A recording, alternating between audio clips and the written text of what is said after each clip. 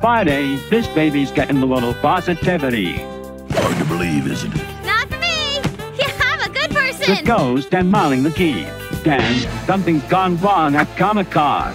Kinda weird that it's all dudes in this VIP line. But I can smell that shrimp. Hey, Lee Bonnet. After that, the Doofenshmirtz Evil Incorporated Shrinkinator. Doofenshmirtz Evil Incorporated. I've got a jingle. Shark Tank. Then, find out about America's fascination with chocolates and hear the world's most famous choir on 2020. Friday at 8, 7 Central and Mountain on ABC.